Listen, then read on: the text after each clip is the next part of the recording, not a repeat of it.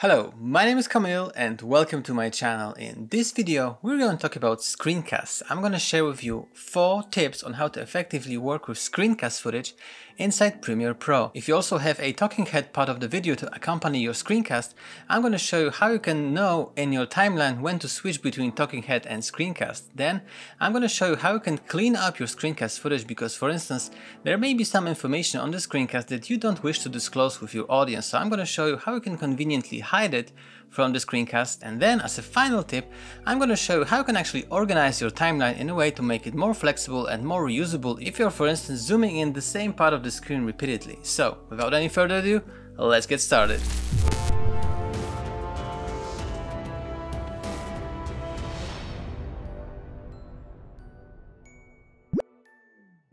Okay, so right here we are in Premiere Pro and there's an example from one of my previous videos. So here, as you can see on track 2, we have the screencast and if I hide it, on track 1, I have a talking head right here, so I'm switching between one and the other. And if we look at the talking head part of the video, you can see that sometimes I'm looking in the camera and sometimes I'm looking down at the computer when I show something. And if I'm at the screencast part of the video, I would like to see if my head is looking down at the computer or if my head is looking up. Because if my head is looking up, that means that I'm talking to the camera. If my head is looking down, that means that I'm sort of talking to the computer and effectively showing something on the computer. So what I usually do is just select the screencast clip, go to the effects control and drop the opacity to something like 60%. And then as you can see, if I scrub through, I can see both the screencast and my head. So this is a very easy way. I don't even need to listen to the audio. I instantly know which part of the video should be talking head and which part of the video should be the screencast. But there is one caveat. If I chop up my video like this, and by the way, there is a pro tip. If you want to make a cut that cuts through all of your video and audio tracks, you can hold the shift key and then perform the cut.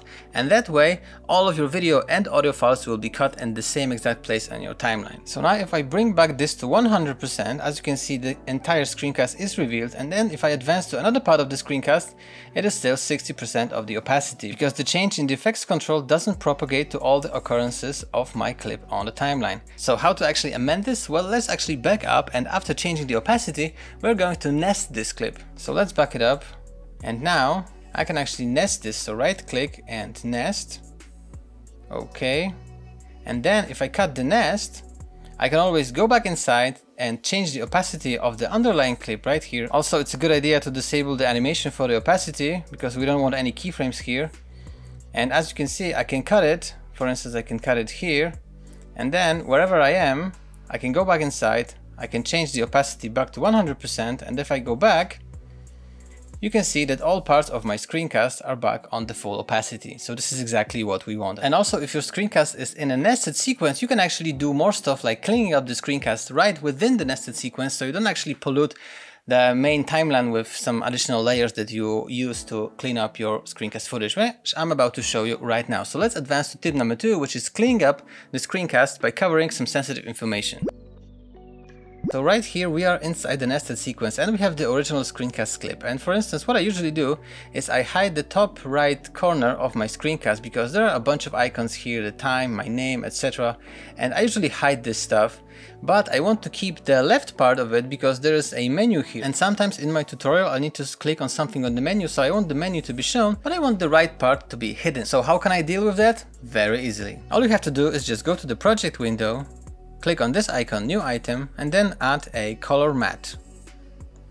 You can click OK, and then you can take the color picker and actually what I usually do is I'm matching the color with the color of the status bar. So I'm clicking somewhere here on the left side of this icon, then hit OK, confirm.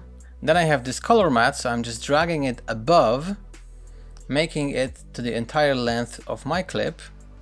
And then of course the color matte is covering the entire clip, so I have two options right here.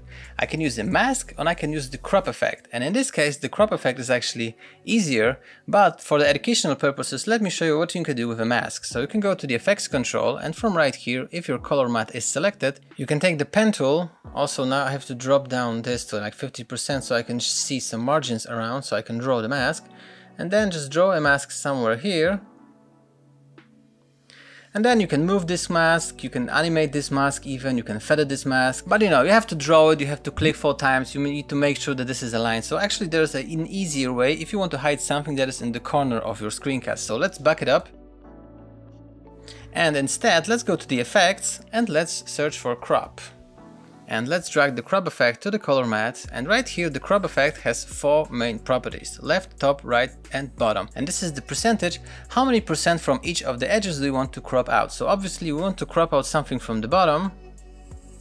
From experience I know that I need to crop something like 97% and then from the left.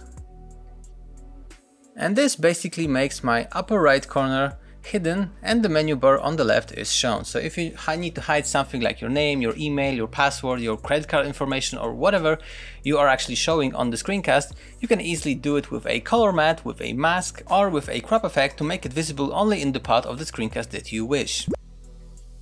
Now let's talk about what can you actually do if something unexpected happens on your screen that covers the vital part of the screencast and you wish to hide it out. So right here I have faked a notification that pops up in the upper right corner. There is just this white color matte that appears here for this portion of the clip and then it disappears. It's like, you know, imagine as some kind of a notification appearing on the screen right in this moment and this is unexpected while you are explaining something and you don't just want to cut out this part of the, of the video, right? So what you can do is hold the option key or alt on Windows and duplicate your entire screencast.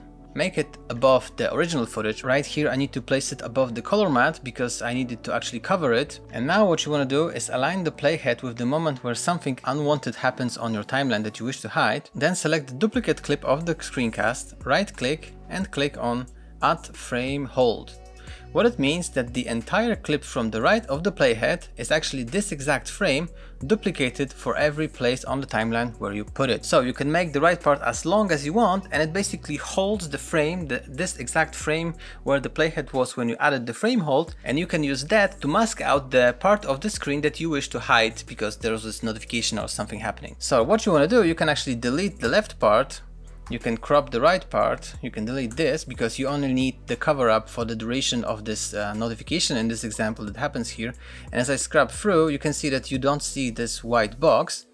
But right now, this part is obviously covering the entire screencast and maybe you were showing on the left bottom side of the screencast that you don't wish to just hide with the previous frame of the screencast. You only wanted to hide where there was something on the screen obstructing the view. So you can also use the crop tool right here. So you can use the crop drag it to this part and then you can use the crop and dial in the exact amount of crop that you want. And then as you can see if I hide this original you can see that the frame that is being held here by this clip is only appearing as a cover-up for this unwanted thing that happened on the timeline. Super easy, very convenient, I use it a lot when I get like an email notification, a text message on my phone or whatever. So now we are back with the original sequence. So what I want to show you right now is for instance if you are zooming in the same portion of the screen repeatedly you can actually use an adjustment layer and you don't have to type in the exact scale and position every time you want to zoom in into that part of the screen. So let's go back to the project window and let's go to the new item and then adjustment layer. Okay, take the adjustment layer and drag it somewhere that you want to zoom in and now in the adjustment layer go to the effects and search for transform. Now drag the transform to the adjustment layer, go to the effects control, scroll down, and then you can actually use the scale property. As you can see, if you drag the scale to the right, you are zooming in. For instance, let's zoom into 150%. Let's change the vertical position to somewhere here and let's change the horizontal to center out on the program window here on my screencast. And if I scrub through, you can, uh, you can see that I'm zooming in. But you probably want some kind of cool animation of zooming into the part of the image. You don't want just those abrupt changes. So how can you animate this? Very easily. So what you want to do is just align the playhead with the start of the adjustment layer, activate the stopwatches for position and scale. You can move those a little bit to the right. And then of course in this position you have to reset to the default, which was these values. And as a personal recommendation, what I usually use, I use 5 frames to perform my animation. So if you want to advance by 5 frames on your timeline, you can actually hold the shift key and click the right arrow and then my timeline is advanced 5 frames. So I'm just going to move these keyframes to this position And if I play it back, you can see that I'm zooming in, but the zooming in is kind of abrupt, you know, there is no motion blur. So how can you add motion blur? Very easily, if you have the transform effect on the adjustment layer. You can just select the adjustment layer, go down, uncheck the use composition shutter angle and then input the 180 degrees, the shutter angle that produces the most natural motion blur and then if I play it back, check this out. If I play it back, nice motion blur while zooming in. And this is the thing that you cannot achieve if you're not working with a transform effect, if you're just working with the motion effect, the default one with the position and scale. So make sure that you are using the transform effect in order to get the nice motion blur while zooming in into the image. And now that we have an adjustment layer, we can just copy it. For instance, we can just hold the Alt key, drag it here, and now on this part, if I play this back, you can see that I perform the same punch in into the same portion of the image. So you can use adjustment layers like this to make sure that you are punching into exact same position and exact same place on the screencast that you wish if you're coming back to some sort of a toolbar or something else if you're making like a tutorial or a software review. So this is very, very handy. Alright, that's basically it for me for this video. I hope you found it helpful. If you did, make sure to hit the like button down below. It really helps me out. Also, consider subscribing to the channel because I upload new videos pretty much every single week and I usually focus on photography tutorials, filmmaking tutorials, sometimes drone flying tutorials, sometimes some vlogs or travel videos, but basically everything revolves around things you can do with your camera. So, if you're interested in any of that, definitely consider subscribing. But like I said, that's it for now. Have a good day. See you next time and bye bye.